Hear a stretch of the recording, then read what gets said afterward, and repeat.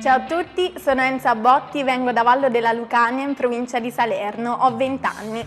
Studio danza classica, moderna e flamenca da circa 15 anni. Ce l'ha fatta. Enza Botti, ventenne di Valo della Lucania, ha passato le preselezioni per Miss Italia Curvi, conquistando Jesolo e non solo. A renderlo noto è il fidanzato di Enza tramite il suo profilo Facebook. Il ragazzo ha postato una foto dell'aspirante Miss e ha scritto: Ce l'hai fatta, adesso vogliamo a Jesolo per il prossimo obiettivo, più forti che mai, ce la faremo. A confermare la lieta notizia è poi il padre della ragazza, Gianni Botti, che aggiunge che sua figlia si è classificata tra le prime tre. Non avevo nessun dubbio, ora tutti insieme per la vittoria finale, commenta un'amica sul profilo di Facebook. Dal giorno 1 settembre la giovane Vallese sarà a Jesolo per affrontare il giudizio della commissione tecnica delle prefinali nazionali del concorso, presieduta da Enrico Lucherini, che sceglierà, tra 210 miss, le 33 finaliste.